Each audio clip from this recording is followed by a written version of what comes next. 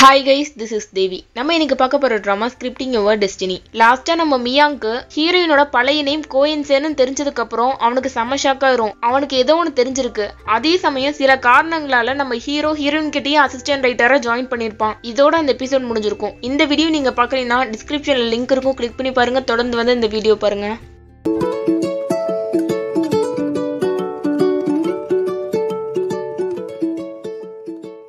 இப்போ ஹீரோயின் உனக்கு கடைசியா ஒரு வாய்ப்பை தரேன். இங்கிருந்து கிளம்புறீன்னா இப்பவுமே கிளம்பிருன்னு சொல்றான். ஆனா ஹீரோ இல்ல எனக்கு இந்த ஜாப் பிடிச்சுதான் நான் ஜாயின் பண்ணேன். அப்படிங்கிற மாதிரி அவன் பேசிட்டு இருக்கும் போதே திரும்ப அவனுக்கு ஹார்ட் வலிக்க ஆரம்பிச்சிருது. அவனால வலி தாங்கவே முடியல. சரி நாளைக்கு தானே ஒர்க் ஸ்டார்ட் ஆகுது. நாளைக்கு நான் கரெக்டான டைமுக்கு வந்துடுறேன்னு சொல்லிட்டு அங்கிருந்து கிளம்புறான். ஆனா ஹீரோயினும் பின்னாடியே ஃபாலோ பண்ணிட்டு வரான். நீ இவ்ளோ பெரிய பில்டிங்கோட ஓனர் நீ எப்படி அசிஸ்டன்ட் ரைட்டரா வந்து ஒர்க் பண்ணுவ? உனக்கு கம்ஃபர்டபுளா இருக்காதுலன்னு சொல்லி கேக்குறான் அதுக்கு ஹீரோவும் நீ இந்த அளவுக்கு என்ன பத்தி யோசிச்சு ஃபீல் பண்ணாத. நான் உங்களை கஷ்டப்படுத்த மாட்டேன். அப்புறம் என்ன நீ வேலையை விட்டு எப்ப வேணா தூக்கிக்கலாம். அது உன்னோட இஷ்டம் அப்படிங்கிற மாதிரி சொல்றான். இதையெல்லாம் கேட்டதுக்கு அப்புறம் ஹீரோயினுக்கும் ஓகேவா தான் இருக்கு. ஆனா இப்ப தான் அவளுக்கு ஒரு டவுட்டே வருது. நீ யாருக்கிட்ட ஒர்க் பண்ண போறன்னு தெரியுமான்னு சொல்லி கொஸ்டின் கேக்குறா. ஏன்னா இது வரைக்குமே ஹீரோ ஹீரோயின் தான் ஒரு ரைட்டர்னு சொல்லி டைரக்டா பேசியிருக்கவே மாட்டான். அதனாலதான் இப்ப டக்குன்னு அவளுக்கு ஒரு டவுட் வருது. நீ தான் அந்த ஃபேமஸான ரைட்டர் எங் மின்ஸ்னு சொல்லி எனக்கு நல்லாவே தெரியும் சொல்றான். பதிலுக்கு ஹீரோயினும் இது எப்படி நீ கண்டுபிடிச்ச?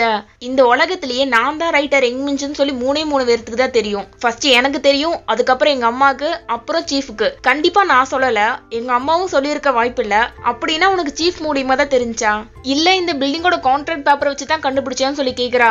ஆனா ஹீரோ எல்லாத்துக்குமே இல்லைன்னு தான் சொல்றான். இது எல்லாமே விதிதான். நம்ம என்ன செஞ்சாலும் அதை தடுக்க முடியாது.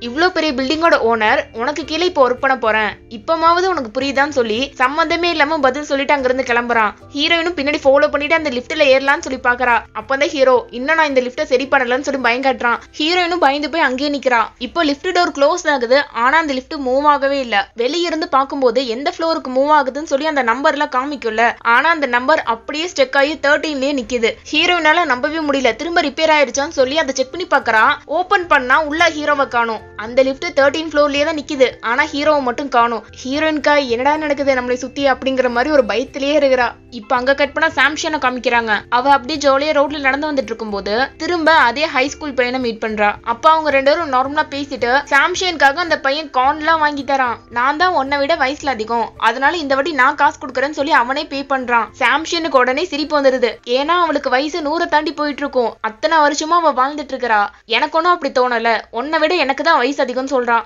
இதை கேட்டுட்டு அந்த பையன் சிரிக்க ஆரம்பிச்சிடுறான். இப்படிலாம் எங்கிட்ட காமெடி பண்ணாத. ஆனா நான் உன்னை ஒவ்வொரு டைம் பார்க்கும்போது நீ கியூட் பண்ணிக்கிட்டே போற அவ்வளோ கியூட்டா இருக்கிற தெரியுமான்னு சொல்லி சாம்ஷனோட தலையில எல்லாம் தடவி கொடுத்துட்டு போறான். சாம்ஷனுக்கு சந்தோஷம் தாங்க முடியல. அவளுக்கு ஒரு பக்கம் ஹாப்பியா இருந்தாலும் இன்னொரு பக்கம் அவளுக்கும் ஹார்ட் வலிக்க ஆரம்பிச்சிருது. இப்பந்தான் நம்ம ஹீரோ ஷின்ஹோயின் சொன்னது அவளுக்கு ஞாபகம் வருது. இதே மாதிரி சிம்டம்ஸ் தானே அவனுக்கு இருந்துச்சு. இது கொரோனாவை விட கொடிய வியாதியா இருக்குமோன்னு சொல்லி பயந்துடுறா. இப்ப அங்க கட் இதை இத பத்தி கேக்குறதுக்காக ஒரு லேடி கிட்ட வந்திருக்கா. இவங்களும் ஒரு காடு தான். ஹீரோக்கு இருக்கிற எல்லா சிம்டம்ஸையும் சொல்லி எதுக்காக இப்படி நடக்குதுன்னு சொல்லி கேக்குறா. இந்த லேடி பல நூறு வருஷமா வாழ்றாங்க. அதனால கேட்ட உடனே டக்குன்னு சொல்லிடுறாங்க. ஏதாச்சும் ஹியூமன் மேல ஃபீலிங்ஸ் வந்திருக்கும். நான் இதுக்கு முன்னாடி கேள்விப்பட்டிருக்கேன். இந்த மாதிரி ஃபீலிங்ஸ் வந்தவங்கள நிறைய பேர் செத்துட்டாங்கன்னு சொல்றாங்க. இதை கேட்டுட்டு சாம்ஷனுக்கா ஷாக்கு என்ன செத்துட்டாங்களான்னு வாய புலகிறா. ஏன்னா இவளுக்கும் அதே மாதிரி சிம்டம்ஸ் தானே இருக்குது. இப்ப அங்க கட் பண்ணா இதே டீட்டெயில Gangnam hall of the seven star சேர்ந்த ஜூ கிட்ட கேக்குறா. ஜூக்கு இத பத்தி நிறையவே தெரிஞ்சிருக்கு. டெத்துனா அதுக்கான மீனிங் சாகுறது அப்படிங்கிற மாதிரி வராது. அவங்க எலிமினேட் ஆவாங்க. இந்த உலகத்தை விட்டு ஒரு பீரியட் ஆஃப் டைம் அவங்க காணாம போயிருவாங்க. அவங்களோட மெமரிஸ் எல்லாமே போயிடும் எதுக்காக இந்த எலிமினேஷன் நடக்குதுன்னா ஒரு சாதாரண ஹியூமன் மேல அவங்களுக்கு ஃபீலிங்ஸ் வந்தாதான் இப்படி நடக்கும். இப்ப கூட ரீசெண்டா ஒரு காட் எலிமினேட் ஆனாங்கன்னு சொல்லி சியாங்க பத்தி சொல்றான். இப்பதான் ஜூ நோட் பண்றான். சாம்ஷன் கையில ஏதோ ஒன்று வச்சிருக்கா அது என்னதுன்னு சொல்லி கேக்குறான்.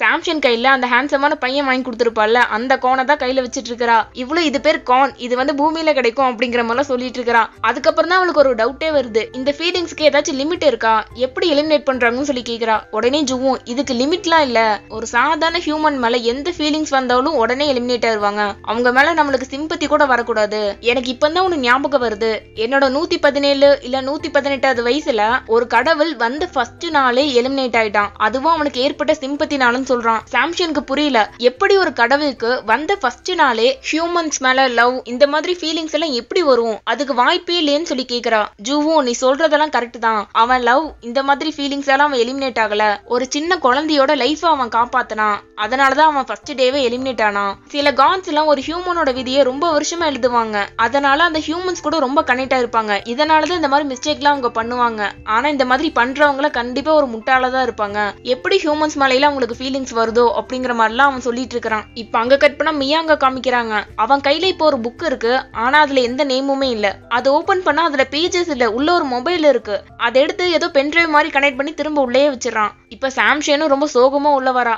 இதை பார்த்துட்டு மியாங் நான் உன்னை ரொம்ப நேரமா பார்க்கவே இல்ல. கையில என்ன வச்சிருக்கிற? என்ன ஆச்சுன்னு சொல்லி கேக்குறான். சாம்சன் இப்போ புலம்ப ஆரம்பிச்சிடறா. எனக்கு இப்ப என்ன ஃபீலிங்ஸ் இருக்குதுன்னே தெரியலையே அப்படிங்கிற மாதிரிலாம் பேசிட்டு இல்ல நான் இப்போ ஒரு முடிவு எடுத்துட்டேன் அப்படிங்கிற மாதிரி சொல்றா. மியாங்க்கு என்ன விஷயம்னே தெரியல. தப்பா இந்த முடிவு எடுத்துறாத எதுவும் சொல்லாதேன்னு சொல்லி ஸ்டாப் பண்ண வரான். இதே டைமுக்கு நம்ம ஹீரோவும் வந்துடுறான். சாம்சன் கையில ஏதோ டிஃப்ரெண்டா ஒரு பொருளை வச்சிருக்கிறத பார்த்துட்டு கையில என்ன வச்சிருக்கிறேன்னு சொல்லி கேக்குறான். ஏன்னா அவங்க உலகத்துல இந்த மாதிரி பொருள் எல்லாம் அவங்க பார்த்திருக்கவே மாட்டாங்க. திடீர்னு சாம்சன் ஒரு ஸ்நாக்ஸ் எடுத்துட்டு இருக்கிற எல்லா பக்கமும் போயிட்டு இருக்கிறா. சாம்ஷியன் உடனே அந்த கானுக்கு மார்க்கெட்டிங் பண்ணிட்டு இருக்கிறா. இது எந்த சீசன்ல வேணா நீங்க சாப்பிடலாம். சூப்பரா இருக்கும் டேஸ்ட் எனக்கு இதை ஸ்கூல் ட்ரெஸ் போட்டுட்டு இதை சாப்பிடணும்னு ஆசையா இருக்கு. ஏன்னா அந்த பையன் சாம்ஷியன் லாஸ்டா பார்க்கும்போது ஸ்கூல் ட்ரெஸ் தான் போட்டிருப்பான். அதனாலதான் சாம்ஷியன் திடீர்னு இப்படிலாம் பேசிட்டு இருக்கறா. இப்ப அவளே கண்டினியூவா நான் ஸ்கூலுக்கு போக போறேன்னு சொல்றா. இதை கேட்ட மியாங் ஸ்கூலான்னு சொல்லி ஷாக் ஆயிடுறான். ஹீரோ உடனே சாம்ஷியனை பிடிச்சு திட்ட ஆரம்பிச்சிடுறான். என்ன ஸ்கூலு அது இதுன்னு பேசிட்டு இருக்கிற? நம்மளை மாதிரி காடெல்லாம் இது வரைக்கும் ஸ்கூலுக்கே போனதில்ல. நீ எதுக்காக திடீர்னு ஸ்கூலை பத்தி எல்லாம் பேசுற? அங்கெல்லாம் போக கூடாது அப்படிங்கிற மாதிரி சொல்லிட்டு மியாங் கிட்ட வேற நான் சொல்றதெல்லாம் கரெக்ட் தானு சொல்லி கேக்குறான். மியாங் ஆனா அவன் மனசுக்குள்ளேயே ஏதோ ஒன்று திங்க் பண்ணிட்டு இல்ல நான் இப்ப இங்கிருந்து உடனே கிளம்புறேன்னு சொல்லிட்டு அங்கிருந்து வரான். நம்ம ஹீரோக்கு டவுட் ஆயிருது.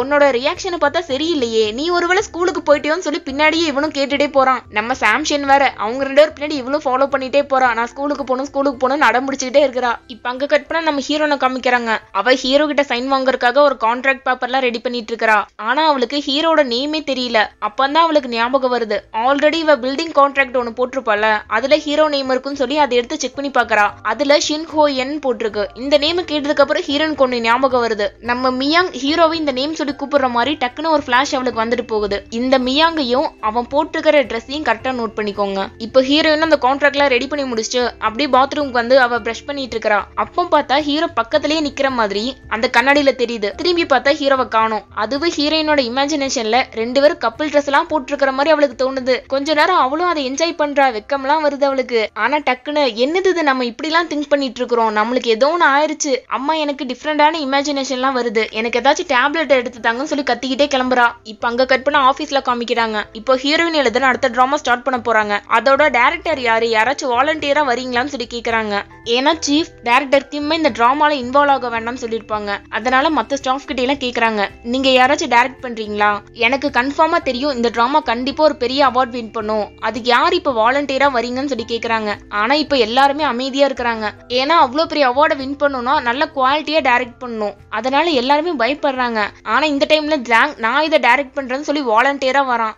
இப்ப அடுத்த நாள் ஹீரோயின் ரொம்ப டயர்டா கீழே இறங்கி வரா. பார்த்தா கீழே ஹீரோ உட்காந்துட்டு இருக்கிறான் இப்ப ஹீரோ இதுதான் என்னோட ஃபர்ஸ்ட் டே நான் கரெக்டான டைமிங்க்கு வந்துட்டேன். ஆனா நீங்க டைம்ல ஃபாலோவே பண்ண மாட்டீங்கன்னு நினைக்கிறேன். உங்க அம்மா எனக்கு ஒரு பத்து கமெண்ட்ஸ் எழுதி கொடுத்து அதை ஃபாலோ பண்ணணும்னு சொல்லியிருக்காங்க. எனக்கு காஃபி கொடுத்துட்டு அவங்க ஷாப்புக்கு கிளம்பிட்டாங்கன்னு சொல்லிட்டு இருக்கிறான் ஹீரோனுக்கு இப்ப எப்படி ரியாக்ட் பண்றதுனே தெரியல. இந்த டைம்ல காலிங் பெல் சவுண்ட் கேக்குது. உடனே ஹீரோ எயித்து கமெண்ட் படி நான் தான் இந்த ஒர்க் எல்லாம் பார்க்கணும் அப்படின்னு சொல்லிட்டு யார் வந்திருக்காங்கன்னு சொல்லி இவன் செக் பண்ண போறான். டோர் ஓபன் பண்ண நம்ம ஜாங் நிக்கிறான். அவனை பார்த்துட்டு ஹீரோ டக்குன்னு டோரை க்ளோஸ் பண்ண பாக்குறான். ஆனா டக்குன்னு ஜாங் டோரை பிடிச்சிட்டு நீங்க என்ன பண்ணிட்டு இருக்குன்னு சொல்லி கேக்குறான். உடனே நம்ம ஹீரோவும் நான் தான் அசிஸ்டன்ட் ரைட்டுன்னு சொல்லி கெத்தா சொல்றான். இப்ப ஜாங் உள்ள வந்து ஹீரோயின் கிட்ட நடந்த எல்லா விஷயத்தையும் சொல்றான். நான் தான் இப்போ அந்த ஸ்கை கேஷ் டிராமாவோட புது டேரக்டர்னு சொல்றான். ஹீரோவும் நீ எதிர்காலத்துல ஒரு பெரிய டேரக்டர் ஆகிறதுக்கு இதுதான் உன்னோட ஃபர்ஸ்ட் ஸ்டெப்னு சொல்றான். இவன் இப்படிதான் திடீர் திடீர்னு ரொம்ப டிஃப்ரெண்டா பேசுவான். இவனை பத்தி நீ கவலைப்படாத. இது உனக்கு ரொம்ப சந்தோஷமா தானே இருக்கு. இது எங்க அம்மாவுக்கு தெரிஞ்சாலும் சந்தோஷப்படுவாங்க சொல்லி பேசிட்டு இருக்கறா. ஜாங் இப்போ ரைட்டர் எங் மீன்ஷன் இப்ப எங்க இருக்கிறாங்க? நான் அவங்க கிட்ட இதை பத்தி பேசுறேன்னு சொல்றான். அதாவது ஹீரோயினோட அம்மாவை தேடிட்டு இருக்கிறான். இப்போ தான் ஹீரோயின் அவங்க இங்க இல்ல கீழே ஷாப்ல இருக்கிறாங்கன்னு சொல்றா. இதை கேட்ட உடனே ஜாங் நீங்க ரெண்டு தனியா என்ன பண்ணிட்டு இருக்கிறீங்கன்னு சொல்லி ஷாக் ஆகுறான். இப்போ ஹீரோ லைட்டா குழம்பிடுறான். நம்ம ஹீரோயின் தான் ரைட்டர் இவன் எதுக்கு அவங்க அம்மாவை தேடிட்டு இருக்கிறான் அப்படின்ட்டு ஜாங் கிட்ட அவங்க ஒன்றும் ரைட்டர் இல்ல. நம்ம ஹீரோயின் தான் ரைட்டர்னு சொல்லி போட்டு கொடுத்துட்றான். பதிலுக்கு ஜாங் இது எனக்கும் தெரியும். நான் ஹீரோயினுக்கு கொஞ்சம் டைம் கொடுக்கணும்னு நினைச்சேன். அவளா என்கிட்ட ஒரு நாள் வந்து சொல்லுவான்னு நான் எதிர்பார்த்தேன் அப்படிங்கிற மாதிரி சொல்லிட்டு இருக்கிறான். இதை கேட்டு ஜாங்குக்கு எந்த ரியாக்ஷனும் இல்ல. நம்ம ஹீரோயின் தான் செம ஷாக் ஆயிடுறான். என்ன தவிர உங்க ரெண்டு பேர்த்துக்குமே ரொம்ப நாளா தெரிஞ்சிருக்கு அப்படிங்கிற மாதிரி அவ ஷாக்ல இருக்கிறா. இப்ப ஜாங் ஹீரோயின் தான் ரைட்டர்னு சொல்லி எனக்கு ரொம்ப நாளா தெரியும் சொல்லி சீன் போடுறான். அதுக்கு ஹீரோ இது எனக்கு ஃபர்ஸ்ட் டேல இருந்தே தெரியும் சொல்லி மொக்க பண்ணி விட்டுறான் இப்படி இவங்க ஒரு மாத்தி மாத்தி மாத்தி சண்டை போடுற மாதிரி பேச ஸ்டார்ட் பண்றாங்களா? இதெல்லாம் பாக்குற ஹீரோயின் தயவு செஞ்சு ரெண்டு பேரும் சண்டை போடாதீங்க. அமைதியா உட்காருங்கன்னு சொல்லி இப்ப அவ பேச ஸ்டார்ட் பண்றா. நான் தான் அந்த ஃபேமஸான ரைட்டர்னு சொல்லி நீங்க வேற யாருக்கிட்டயுமே சொல்லக்கூடாதுன்னு சொல்லி கேக்குறா. இவ்ளோ நேரம் நம்ம ஜாங் ஹீரோ கிட்ட சண்டை போடுற மாதிரி டோன்லயே தானே பேசிட்டு இருந்திருப்பான். ஆனா நம்ம ஹீரோயின் கிட்ட ரொம்ப சாஃப்டான வாய்ஸ்ல பேசுறான். ஓகே இத பத்தி நான் வேற யார்ட்டையும் சொல்ல மாட்டேன்னு சொல்றானா? இத கேட்ட ஹீரோக்கு செம கடுப்பாயிருது. இவ்ளோ நேரம் நம்ம கிட்ட எப்படி பேசிட்டு இருந்தான்? இப்ப பாரு எப்படி வாய்ஸ் எல்லாம் மாத்தி பேசுறான்னு சொல்லி கடுப்பாய் திட்டிட்டு இருக்கிறான். இத பார்த்துட்டு ஜாங் உனக்கு வீட்டுக்கு போற வேலையெல்லாம் இல்லையா? எதுக்காக இப்ப இங்க உட்காந்துருக்கிறேன்னு சொல்லி கேக்குறான். பதிலுக்கு ஹீரோ நான் இங்க தான் ஒர்க் பண்றேன் நான் இங்க தான் இருப்பேன்னு சொல்லி உட்காந்துக்கிறான் இத பார்த்துட்டு ஜாங் ஹீரோயின் கிட்ட ரைட்டர் யாங் எதுக்காக இவனை நீ வேலைக்கு வச்சேன்னு சொல்லி லைட்டா கோவமா கேக்குறான். ஜாங் இப்படி பேசினது பார்த்து ஹீரோயின் அழுக ஆரம்பிச்சிடறா. ஜாங்குக்கா ஒண்ணுமே புரியல. நான் ஒன்னும் கோபமா பேசல. நீ எதுக்காக திடீர்னு அழுக ஆரம்பிச்சிருன்னு சொல்லி இவன் பயந்துடுறான். ஆனா ஹீரோயின் இப்பதான் சொல்றான் நான் ஒன்னும் அதுக்காக அழுகல. சீஃபை தவிர வேற யாருமே என்ன ரைட்டர்னு சொல்லி கூப்பிட்டது இல்ல நார்மலான பீப்புள்ஸ்க்குலாம் நான் தான் ரைட்டர்னு சொல்லி தெரியாதுல அதனால சீஃப்க்கு அப்புறம் நீ தான் என்ன ரைட்டர்னு சொல்லி மென்ஷன் பண்ணிருக்க எனக்கு அதனாலதான் ரொம்ப சந்தோஷமா இருக்குன்னு சொல்லி ஆனந்த கண்ணீர் வந்துட்டு இருக்குது இதை பார்த்துட்டு ஜாங்கோ திரும்ப திரும்ப ரைட்டர்னு சொல்லி மென்ஷன் பண்ணியே பேசிட்டு இருக்கிறான் நீங்க தான் உண்மையிலேயே ஒரு சூப்பரான ரைட்டர்னு சொல்லி அடுத்தடுத்த கோலை போட்டு தாக்கிட்டு இருக்கிறான் இதெல்லாம் பார்த்துட்டு இருக்கிற ஹீரோக்கு நம்மளை உட்கார வச்சுட்டு இவங்க ரெண்டு பேரும் என்ன பண்ணிட்டு இருக்காங்க இவன் ஸ்கோர் பண்ணிட்டு போயிருவானோன்னு சொல்லி இவனும் எந்திரிச்சு ரைட்டர் நம்ம ஒர்க்க ஸ்டார்ட் பண்ணலாமான்னு சொல்லி ரைட்டர்னு சொல்லி மென்ஷன் பண்ணி பேசுறான். இப்போ ஹீரோயினை பார்த்து சிரிக்கிறான் ஜாங்க பார்த்து முறைக்கிறான். இப்படியே அவனோட ரியாக்ஷன் இருக்குது. இப்போ கொஞ்ச நேரம் கழிச்சு காமிக்கிறாங்க. ஹீரோயின் அவளோட ஒர்க்கெல்லாம் பார்த்துட்டு இருக்கிறா நம்ம ஹீரோவும் ஹீரோயினுக்கு ஆப்போசிட்ல தான் உட்காந்துட்டு இருக்கிறான் அவன் ஏதோ ஒரு ஒர்க்கை சீரியஸா பார்த்துட்டு இருக்கான் நம்ம ஹீரோயினுக்கு டவுட் ஆயிருது. நம்ம தான் இவனுக்கு எந்த வேலையுமே கொடுக்கலையே. அவன் என்னதான் பண்ணிட்டு இருக்கான்னு சொல்லி டவுட்லயே இருக்கிறா. இப்போ ஹீரோயின் ஹீரோவை பார்த்துக்கிட்டே இருக்கிறாளா? அப்ப டக்குன்னு ஹீரோ ஒரு ஸ்கூல் யூனிஃபார்ம் போட்டு புக் படிச்சிட்டு இருக்க மாதிரி ஃபிளாஷ் ஆகுது. இதை பார்த்து ஹீரோனுக்கு டவுட் வந்துடுது இவனோட ஸ்கூல் டைம் இமேஜ் எப்படி நம்மளோட மைண்ட்ல வந்துட்டு போகுதுன்னு சொல்லி டவுட் ஆகி ஹீரோ கிட்டே இப்போ எந்திரிச்சு வந்து கேக்குறா. நீ எந்த ஸ்கூல்ல கிராஜுவேட் ஆன? நான் உன்னை எந்த கொஸ்டினுமே கேட்காம இந்த வேலையில சேர்த்துட்டேன். அதனாலதான் இப்ப கொஸ்டின் கேக்குறேன்னு சொல்றா.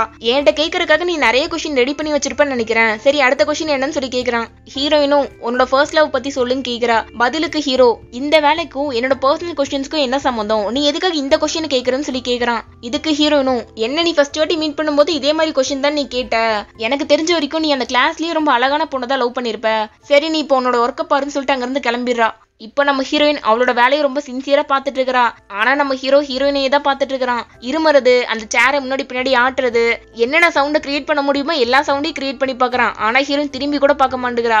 இதை பார்த்துட்டு ஹீரோ நம்ம எவ்வளவு பெரிய கடவுள் ஆனா எதுக்கு சின்ன பிள்ளைத்தனமா பண்ணிட்டு இருக்கிறோம் நம்மளுக்கு எவ்வளவு பவர் இருக்குது அப்படின்னு சொல்லி ஹீரோயினோட புக் எடுக்கிறான். அதுல நம்ம ஹீரோயின் அவளோட அசிஸ்டன்ட் ரைட்டரான நம்ம ஹீரோவையே பார்த்துட்டு இருப்பான் அப்படிங்கிற மாதிரி அவன் எழுதி முடிச்சுட்டு பாக்குறான். ஹீரோயின் பார்த்தா இப்ப ஹீரோவையே பார்த்துட்டு இருக்கிறா ஹீரோவை அவ பார்க்க பார்க்க அவனுக்கு ஹார்ட்ல பெயின் அதிகமாயிட்டே இருக்குது. இப்ப அவ பக்கத்துல எந்திரிச்சு வந்து ஒரு டிஷ்ஷோட நேம் சொல்லி இது உனக்கு பண்ண தெரியுமான்னு சொல்லி கேக்குறா. இப்ப ஹீரோ அதை செம்மையா சமைச்சு ஹீரோயினுக்காக தரான். அப்போ ஹீரோயின் அந்த நூடுல்ஸ் எடுத்து வச்சு இதோட ஒரு கார்னர் ஒரு பொண்ணு இன்னொரு கார்னர் ஒரு பையனும் சாப்பிடுவாங்க. அதுக்கப்புறம் கண்ணு கண்ணு பாத்துக்குவாங்க அப்புறம் அப்படின்ட்டு அவ சாப்பிட ஸ்டார்ட் பண்ணிடுறா.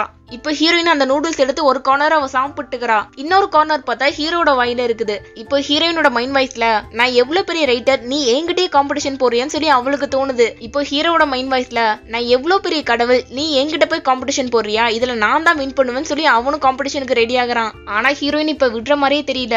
நான் தான் இந்த காம்படிஷன்ல வின் பண்ணுவேன்னு சொல்லி அவ ஒரு கார்னர்ல இருந்து சாப்பிட்டுக்கிட்டே வரா ஹீரோ பக்கத்துல. ஹீரோக்கா டெம்ட் ஆயிருது அப்படியே விட்டுறான். ஹீரோயின் தான் இப்ப இந்த காம்படிஷன்ல வின் பண்ணான் இப்ப அங்க கட் பண்ணா மியாங்க காமிக்கிறாங்க. அவன் ஒரு மொபைல்ல ஒரு பென்ட்ரைவர்ட்ட ஒன்று கனெக்ட் பண்ணி ஒரு புக்குக்குள்ள வச்சிருந்தால அதை இப்போ ஹண்ட்ரட் பர்சன்டேஜ்னு சொல்லி காட்டுது. அதை இப்போ ஓபன் பண்ணி பாக்குறான் அதை பார்த்துட்டு அவனாலையும் நம்ப முடியல. ஒரு மாதிரி டிஃப்ரெண்டான ரியாக்ஷனா அவன் கொடுக்குறான். இப்போ அங்கே கட் பண்ணால் ஹீரோயினோட வீட்டில் காமிக்கிறாங்க. அங்கே சோயின் ஹீரோயின் கூட பேசிட்டு இருக்கிறான். அப்பதான் அவள் ஒரு ஃபோட்டோ பார்க்குறா அது ஹீரோயின் ஸ்கூல் டைமில் எடுத்த ஃபோட்டோ இந்த ஃபோட்டோவை நீ இன்னும் பத்திரமா வச்சுக்கிறியான்னு சொல்லி அதை பற்றி பேசிட்டு இருக்கிறாங்க. அந்த ஃபோட்டோவை சோயின் தான் எடுத்திருப்பா. இப்போ அதை நம்மளுக்கு காட்டுறாங்க. சோயின் ஃபோட்டோ எடுக்கும்போது பேக்ரவுண்ட்ல ஒரு பையன் திரும்பி நிற்பான் இப்போ நம்மளுக்கு கிளியராக காட்டுறாங்க. அந்த பையனே நம்ம ஹீரோ தான். ஆனால் நம்ம சோயின் ஃபோட்டோ எடுக்கும்போது ஹீரோவோட ஃபுல் ஃபேஸ் கவர் ஆயிருக்காது. சைடாக தான் கவர் ஆயிருப்பான். இப்போ ஆப்போசிட்ல மியங் ஹீரோவை ஃபோட்டோ எடுக்கிறான். அதில் ஹீரோ ஹீரோயின் ரெண்டு பேருமே கவர் ஆயிருக்காங்க. நம்ம ஹீரோ ஹீரோயினுக்கு ஹீரோவோட நேமான ஷின்ஹோயன் சொல்லி மியாங் கூப்பிட்ட மாதிரி ஞாபகம் வரல. அப்பந்தான் மியாங் ஹீரோவோட நேமையும் சொல்லி கூப்பிட்டுருப்பான். இந்த போட்டோ பார்த்துட்டு தான் நம்ம மியாங் இப்ப ஷாக்கா இருப்பான். இதோட இந்த எபிசோட் முடியுது. அடுத்த எபிசோட்ல தான் உங்களோட எல்லா கொஸ்டினுக்கான ஆன்சரும் இருக்கும். அதனால நான் வீடியோ போட்ட உடனே நீங்க பார்க்கணுமா? சப்ஸ்கிரைப் பண்ணி கூடவே அந்த பெல் ஐக்கான்ல ஆளுங்கிற பட்டன் அமுக்குங்க. அப்பதான் நான் வீடியோ அப்லோட் பண்ண உடனே உங்களுக்கு நோட்டிபிகேஷன்ல காமிக்கும். இன்னும் நம்ம ஃப்ரெண்ட்ஸ்ல பாதி பேர் சப்ஸ்கிரைப் பண்ணாமே பார்த்துட்டு இருக்கிறீங்க. உங்களுக்கு இந்த வீடியோ பிடிச்சிருக்குன்னா ப்ளீஸ் சப்ஸ்கிரைப் பண்ணி லைக் பண்ணிட்டு இந்த வீடியோ பாருங்க. ஓகே தென் பை பை ஆ அப்புறம் இன்னொரு விஷயம். நாளைக்கு எபிசோட் உண்மையிலேயே வேற லெவல்ல இருக்க போகுது. மறக்காம சப்ஸ்கிரைப் பண்ணிருங்க.